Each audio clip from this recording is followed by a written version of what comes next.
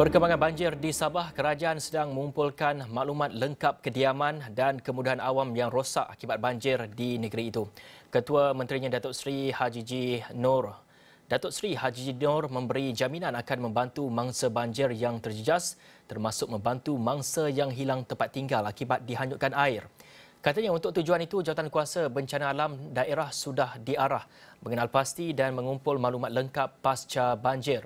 Semasa ditemui selepas melawat Pusat Pemindahan Sementara PPS, bangsa banjir di Dewan Seri Ontoros, Kemabung dan Tenum, Haji Ji berkata bantuan tersebut akan dapat disalurkan dalam tempoh lebih awal berikutan keadaan banjir yang semakin surut. Sehingga jam 10 pagi Isnin, jumlah mangsa banjir melibatkan dua daerah Tenum dan Beaufort menyaksikan penurunan daripada 5,111 kepada 4,999 mangsa banjir.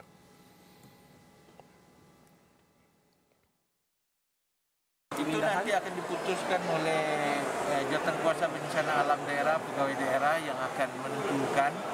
Uh, sekarang ini kita sendiri pun uh, belum mendapat laporan sepenuhnya berapa rumah yang hanyut, berapa yang terlibat dan sebagainya.